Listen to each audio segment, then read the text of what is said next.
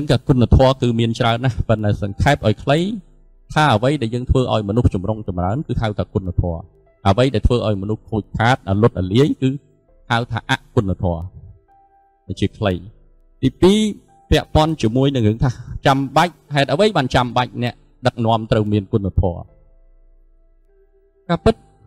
នៅពេលដែលយើងដើរតាមនរណាម្នាក់យើងសុកចិត្តឲ្យគាត់អ្នកដឹកនាំយើង មែនតែនយើងលែងទុកចិត្តខ្លួនឯងយើងទុកចិត្តគាត់ជាងយើងមនុស្សយើងបើអត់ទុកចិត្តនរណាម្នាក់ជាងខ្លួនឯងទេយើងមិនឲ្យអ្នកនឹងដឹកនាំយើងទេយើងការពិតហើយបើសិនជាគាត់អាចដឹកនាំយើងបានបណ្ដោះអាសន្នទេដោយសារតែយើងជិះកបីច្រឡងភពហ្នឹងតែបើសិនជាការពិតមកគឺយើងមិនអនុញ្ញាតឲ្យនរណាម្នាក់ដឹកនាំយើងទេបើសិនជាយើងមិនទុកចិត្តគាត់ជាងខ្លួនឯង ឧទាហរណ៍អ្នកខ្លះមានលុយអត់ហ៊ានរកស៊ីទេប៉ុន្តែយកលុយឲ្យគេរកបាទឃើញគាត់តែប៉ុណ្ណឹងដឹងអឺរឿងខ្លះកិច្ចការខ្លះអត់ហ៊ានធ្វើខ្លួនឯងទេយកកិច្ចការហ្នឹងទៅឲ្យគេធ្វើព្រោះទុកចិត្តគេអញ្ចឹងកាលណាតែយើងទុកចិត្តគេយើងពឹងគេគឺគេคลายទៅជាអ្នកដឹកនាំហើយនៅពេលដែលយើងคลายជាអ្នកដឹកនាំការពិតមានតែ3ទេពេលដែលគេ គេគេត្រូវការអ្នកដឹកនាំគេស្វែងរក3រឿងអញ្ចឹងសូមលោកជំទាវលោកស្រីអស់លោកទាំងអស់ហើយក៏ដូចជាអ្នកតាមដានទស្សនានេះសូមយល់ថាគេស្វែងរកតែ3យ៉ាងទៅពីយើងទី1គឺតើយើងនឹងគឺជាមនុស្សដែលអាចទុកចិត្តបានដែរឬអត់ព្រោះអង់គ្លេសថា trust អញ្ចឹងបងអូនស្រីចេនសុភាពអឺបងធំណាមុំសំបានឡើងមកបញ្ជាក់អំពីរឿងសុចរិតភាព ហ្នឹងបាទក៏ប៉ុន្តែអានឹងយើងនិយាយពី integrity ក៏ប៉ុត integrity វាធំវាទូលាយមែនតើតែខ្ញុំសូមនិយាយកន្លែងនេះគឺចំណុចទី1គឺ trust បាទបើមិនជាយើងទុកចិត្តយើងឲ្យគាត់ដឹកនាំបើយើងអត់ទុកចិត្ត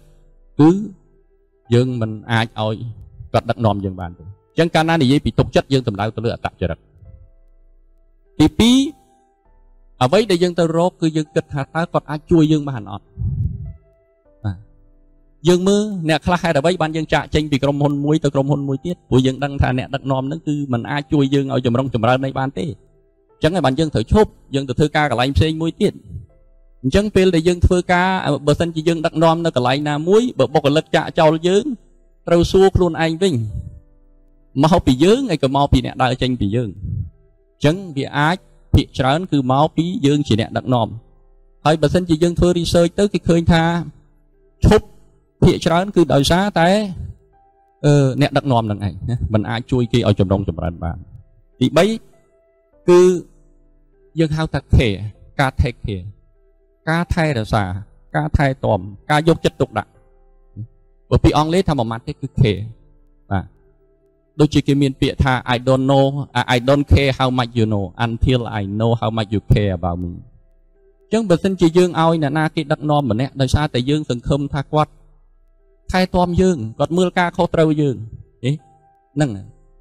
ដូចយើងភរិយាដែលមានដែលបានស្វាមីគឺថាឪពុកម្ដាយខាងភរិយានឹងបាន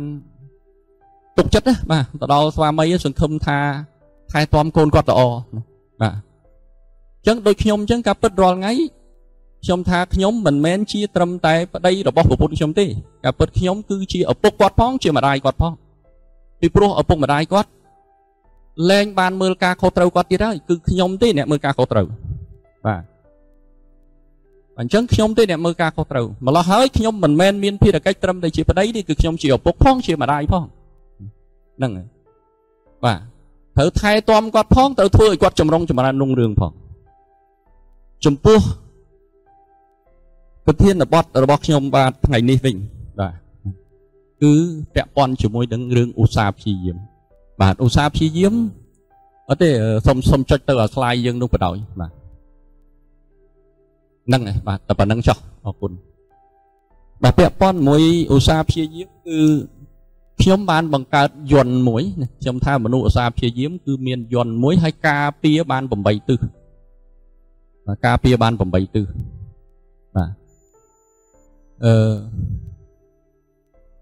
លោកជំទាវលោកស្រីអស់លោកអាច ដាក់វាទៅទិសខាងណាក៏អត់អីដែរវាគង់ទៅវិលដូចកងចាក់អញ្ចឹងគង់ទៅវិលដូចកងចាក់អញ្ចឹងអអាចថតរូបបានហើយខ្ញុំនឹងចែករំលែកតាមបណ្ដាញសង្គមតាមក្រោយទៀតហើយនេះការពិតមិនមែនជាទ្រឹស្ដីសកលហើយក៏អត់មែនជាទស្សនវិជ្ជាលោកខាងលិចលោកខាងកើតអីដែរគឺទស្សនវិជ្ជាលោកសម្បត្តិទេបាទសូមអធិស្ឋានហើយបើនិយាយពីភាពជាអ្នកដឹកនាំអត់មានខុសឬត្រូវដាច់ខាតទេបាទ ប៉ុន្តែគេថាបើសិនជាយើងជឿគឺយើងអាចធ្វើឲ្យឈ្នះបានតែបើសិនជាយើងមិនជឿទោះបីជាត្រូវឈ្នះក៏ចាញ់បានដែរបាទអញ្ចឹងទី1គឺការជឿទុកចិត្តហ្នឹងយើងមើលម្ដាយឪពុកមានកូន4 5នាក់ប៉ុន្តែនៅពេលដែលកូនណាអាសាជាងគេចេញទៅគឺផ្ដាំផ្ញើមួយកូននឹងមើលផ្ទះផងណាកូនណាអត់សំខាន់ថាកូននឹងបងឬក៏កូនកដាលឬកូនប្អូនទេ សំខាន់កូនណាដែលមើលទៅឧស្សាហ៍ជាងគេបុគ្គលិកនៅក្រុមហ៊ុនដូចគ្នាមន្ត្រីនៅក្នុងក្រសួងដូចគ្នាបើសិនជាថ្នាក់ដឹកនាំគាត់សម្គាល់ឃើញថាមន្ត្រីណាឧស្សាហ៍ព្យាយាមជាងគេផ្ដាំផ្ញើមន្ត្រីហ្នឹងពីព្រោះដឹងថាត្រឡប់មកវិញការងារនឹងហើយអញ្ចឹងឃើញទុកចិត្តបាទទុកចិត្តទី2គោរពបាទការគោរពព្រោះមនុស្សដែលឧស្សាហ៍ព្យាយាម គឺនឹងទទួលបានការគោរពហើយលោកជំទាវតាំងកិច្ចលៀងលោកនឹងបកស្រាយអំពីការគោរពណាខ្ញុំជឿថាយើងនឹងរៀនសូត្រពីគាត់បានជ្រៅនៅចំពោះការគោរពចំណែកខ្ញុំវិញខ្ញុំថាខ្ញុំឧទាហរណ៍ថាដូចជាបងស្រីខ្ញុំបង្កើតគាត់អត់ចេះអសរទេក៏ប៉ុន្តែក្នុងបងប្អូន8នាក់គឺថាបើគាត់និយាយឆ្វាចមកអត់ហ៊ានមក មិនហ៊ានជាមួយគាត់នឹងត្រង់ថាគាត់មនុស្សធ្វើហ្មងមនុស្សរសាធ្វើមិនឈប់ដល់តែពេលអញ្ចឹងមិនគោរពគាត់វាអត់កើតបើយើងនិយាយទៅរហូតដល់យើងហៅថាយាយកប៉ាល់ភ្លើងមកគាត់ដាក់មកឆេះហ្មងគាត់ធ្វើទៅតែកើតបាទក្រុមគ្រួសារដ៏ក្រីក្រមួយប៉ុន្តែដោយសារតែការខំប្រឹងការឧស្សាហ៍ព្យាយាមរបស់គាត់ហ្នឹងគឺធ្វើឲ្យគ្រួសារនឹងរីកចម្រើនសូមអភ័យទោសខ្ញុំសូម បញ្យលពាក្យដែលខ្ញុំសូមបំបែកពាក្យឧស្សាហ៍ព្យាយាមបន្តិចមិញភ្លេចបញ្ជាក់ការពិតពាក្យឧស្សាហ៍ព្យាយាមនេះមកពីឧស្សាហ៍ផងវាព្យាយាមផងពួកមនុស្សខ្លះឧស្សាហ៍តែអត់ព្យាយាមក៏អត់បានសម្រេចដែរបាទអញ្ចឹងអញ្ចឹងវាទល់តែឧស្សាហ៍ផងព្យាយាមផងហើយមិញខ្ញុំឧទាហរណ៍ពីបងស្រីខ្ញុំអញ្ចឹងគឺថាមិនមែនមានន័យថាដោយសារតែចំណេះដឹងទេយើងគោរពគាត់មិនមែនដោយសារតែគាត់ចេះគោរពគាត់ដោយសារតែគាត់ឧស្សាហ៍មក ហើយគាត់តាំងចិត្តតែគាត់និយាយអីគាត់ធ្វើធ្វើទៅតែកើតគាត់ធ្វើទៅតែកើតបងប្អូនខ្ញុំរស់ស៊ីពីទូលកញ្ច្រែងរហូតដល់យើងអាចដែលធ្វើទៅជាក្រុមហ៊ុនអីបានបាទដោយសារពេលវេលាចឹងខ្ញុំទៅមួយទៀតគឺការឧស្សាហ៍ព្យាយាមគឺបង្កើតបាននៅសេចក្តីស្រឡាញ់ឬគឺជាមនុស្សដែលគួរឲ្យស្រឡាញ់បាទមនុស្សដែលគួរឲ្យស្រឡាញ់ ព្រោះយើងមើលជាក់ស្ដែងនៅក្នុងសុភមង្គលគ្រួសារពេលខ្លះយើងគិតថាយើងចង់បង្កើតគ្រួសារមួយឲ្យមានសុភមង្គលប៉ុន្តែគ្រួសារមួយបើប្តីខ្ជិលឬប្រពន្ធខ្ជិលខ្ញុំគិតថាសុភមង្គលធ្លាក់ចុះតែបើសិនជាសួរគ្រួសារហ្នឹងឧស្សាហ៍ព្យាយាមទាំងគូវិញគឺសុភមង្គលកើតឡើងឯងមកកើតឡើងឯងមកហើយដូច្នេះយើងមើលមួយទៀតសិស្ស សិស្សរៀនបើសិស្សណាដែលឧស្សាហ៍គ្រូស្រឡាញ់តែបើដាក់ homework មកអត់ធ្វើទេហ្នឹងគេអើយទៅទៅទៅផ្ទះឲ្យគ្រូនឹកមករៀនល្ងាចព្រឹកឲ្យគ្រូស្រឡាញ់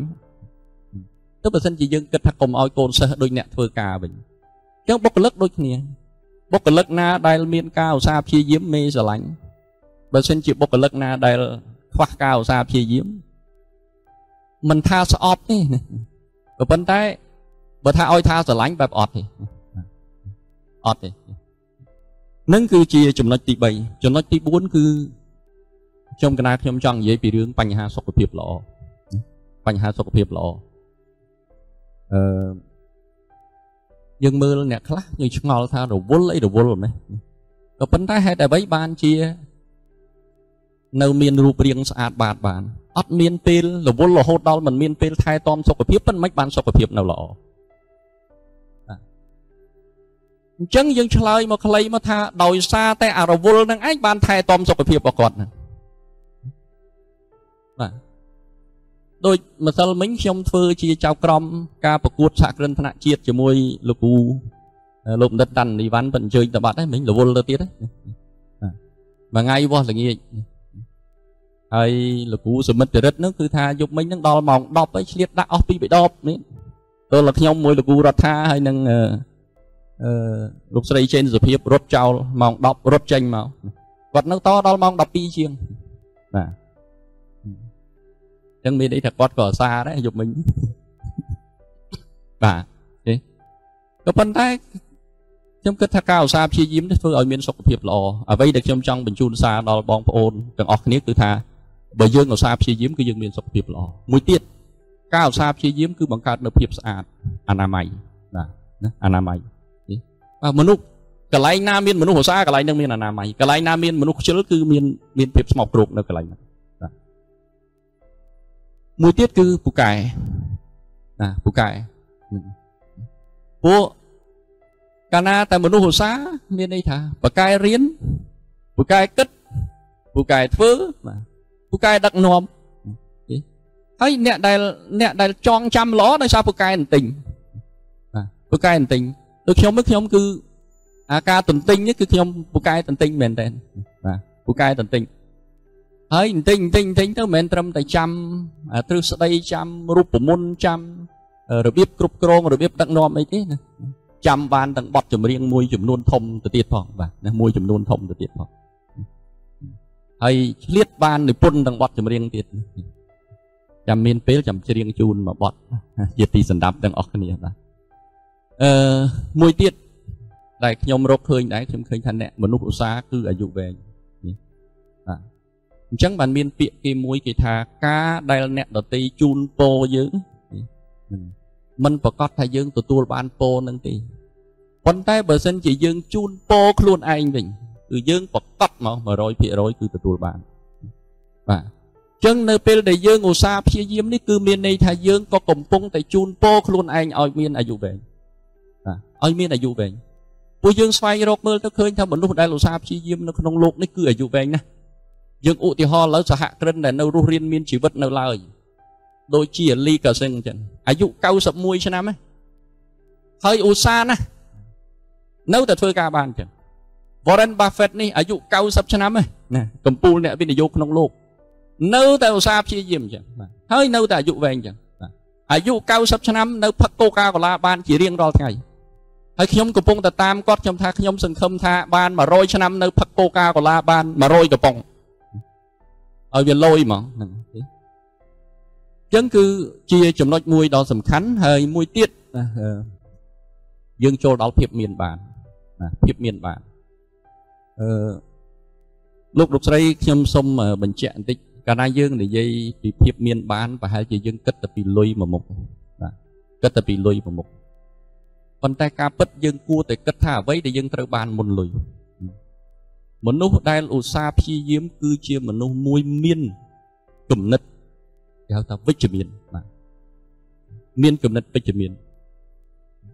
គេហៅថា positive mental attitude មនុស្សឧស្សាហ៍គឺមនុស្សដែលមានគំនិតវិជ្ជមានពីព្រោះមនុស្សឧស្សាហ៍ពេលណាមើលមនុស្សភាកច្រើនឃើញថាធ្វើមិនកើតតែមនុស្សឧស្សាហ៍គិតថាធ្វើកើតពួកមានន័យថាគេធ្វើមិនកើតពួកគេមិនទាន់ខំហើយបើសិនជាខ្ញុំចំអ្នកខំគឺធ្វើកើតណាចំអ្នកខំគឺធ្វើ